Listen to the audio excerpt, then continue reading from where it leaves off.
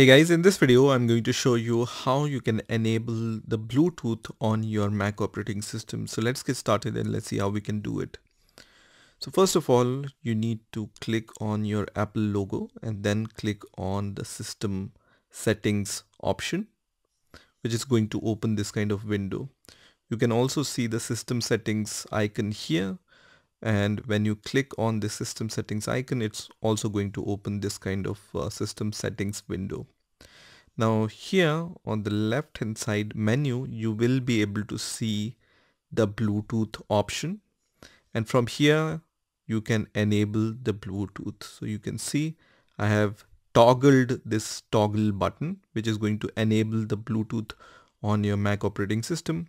And if some Bluetooth device is nearby your MacBook. Your MacBook is going to search for that device and it's going to sh show you the list of all the devices which can be connected via Bluetooth. Now let's say you don't want to open the system settings again and again in order to uh, enable or disable this Bluetooth.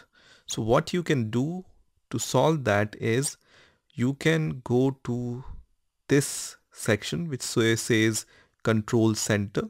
So just click on control center here and you will be able to see this bluetooth option here.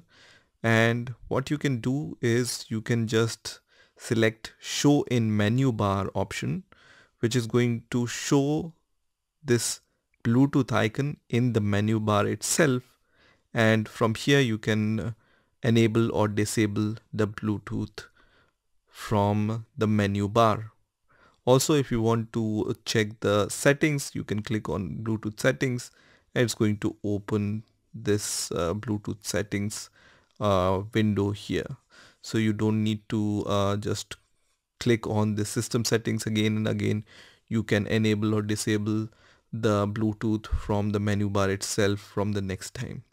So this is how you can enable the bluetooth on your mac operating system I hope you've enjoyed this video and I will see you in the next video.